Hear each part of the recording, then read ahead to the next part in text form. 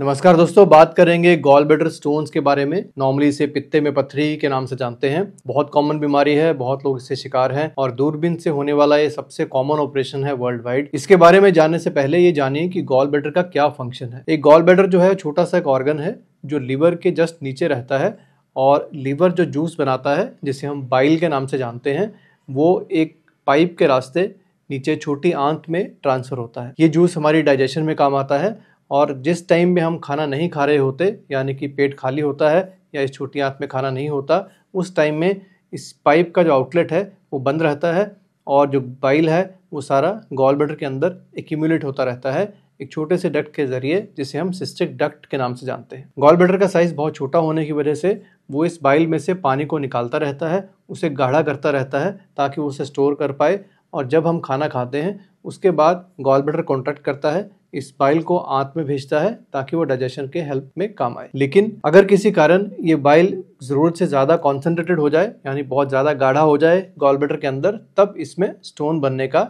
Risk रहता है। और जैसे ही छोटे छोटे स्टोन बनते हैं, ये धीरे धीरे बढ़ने लगते हैं और गॉल ब्लेडर्स में ये प्रॉब्लम क्रिएट करने लगते हैं। अगर ये कोई स्टोन गॉल के आउटलेट के आगे, यानी उसके मुँह के आगे आके फंस जाए तो उस समय बहुत तेज़ पेशेंट को पेन होता है और यूजुअली ये पेट के राइट अपर एबडोमन पर एक इंटेंस पेन पेशेंट फील करते हैं। मैनी टाइम्स खाना खाने के बाद ये पेन फील होता है, क्योंकि उस टाइम पर ही गॉल ब्लेडर कॉन्ट्रैक्ट करता है। और आफ्टर अ वाइल अगर ये स्टोन स्लिप होकर वापस चला जाता है तो पेन ठीक भी हो सकता है। सिवियर पेन की बजाय पेशेंट को मीठा मीठा थोड़ा थोड़ा दर्द भी हो सकता है। एसिडिटी की कंप्लेंट भी हो सकती हैं ये सब लक्षण भी गॉल ब्लेडर स्टोन के हो सकते हैं। और कुछ केसेस में विदाउट एनी सिम्टम्स ही पेशेंट को स्टोन रहते हैं, जब तक कि वो ब्लॉक नहीं करते सिस्टिक ट्रैक्ट को, तब तक उन्हें कोई भी पेन फील नहीं होता। अगर ये स्टोन बहुत देर तक, यानी छः घंटे से ज़्यादातर आपको पेन कर रहा है तो तब पित्ते में स्वेलिंग आ जाती है, और ये स्वेलिंग धीरे धीरे बढ़ने लगती है। पेन जो है वो ठीक नहीं होता, आपको फीवर हो सकता है इन्फेक्शन की वजह से नोज़िया वॉमिटिंग ऐसी चीज़ें हो सकती हैं। और आपको एक एमरजेंसी कंडीशन में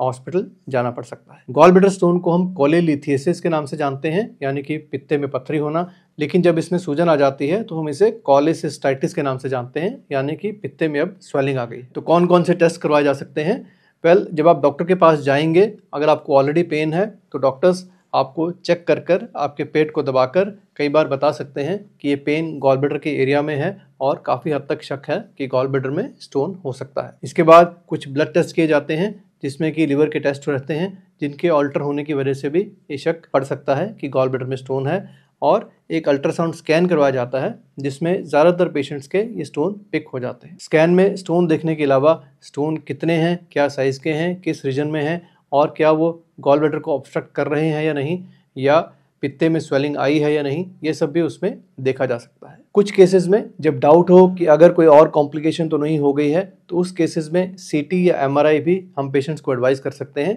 ताकि ऑपरेशन से पहले हमें कोई भी डाउट ना रहे। इन टेस्ट के बाद अगर पेशेंट को सिम्टम्स हैं तो डॉक्टर्स यूजुअली दूरबीन के थ्रू ये ऑपरेशन एडवाइस करते हैं, जिसमें कि गॉल ब्लेडर को रिमूव कर दिया जाता है। बहुत फ्रीक्वेंटली पेशेंट से हमें क्वेश्चन पूछते हैं कि क्या इसमें पूरा गॉल ब्लेडर निकालना ज़रूरी है? क्या हम सिर्फ़ स्टोन नहीं निकाल सकते? तो यस इसका आंसर यही है कि पूरा का पूरा पित्ता निकालना ज़रूरी है, क्योंकि जब उसमें स्टोन बन गया है तो वो गॉल ब्लेडर नॉर्मल नहीं है। अगर सिर्फ़ हम स्टोन निकालेंगे तो डेफिनेटली ये दोबारा स्टोन बनने का रिस्क बहुत ज़्यादा है, बहुत जल्दी ही दोबारा स्टोन बन जाएगा। और आपको फिर से ये ऑपरेशन करवाना पड़ेगा। गॉल ब्लेडर रिमूव करवाने से क्योंकि कोई बहुत बड़ी प्रॉब्लम नहीं आती पेशेंट अपनी लाइफ नॉर्मली जीते हैं, इसलिए इसका स्टैंडर्ड ऑपरेशन ही गॉल ब्लेडर रिमूवल है रादर देन की स्टोन रिमूवल जैसा कि हम किडनी पेशेंट्स में करते हैं, क्योंकि किडनी एक वाइटल ऑर्गन है, उसमें से सिर्फ़ स्टोन ही निकाला जाता है अनलेस की किडनी ख़राब ना हो, लेकिन गॉल ब्लेडर के केस में पूरा का पूरा गॉल ब्लेडर ही निकालना एक ऑपरेशन ऑप्शन है। तो एडवाइस यही है कि अगर आपको गॉल ब्लेडर स्टोन्स हैं और उसके कारण कोई भी सिम्टम्स हैं तो डॉक्टर से मिलिए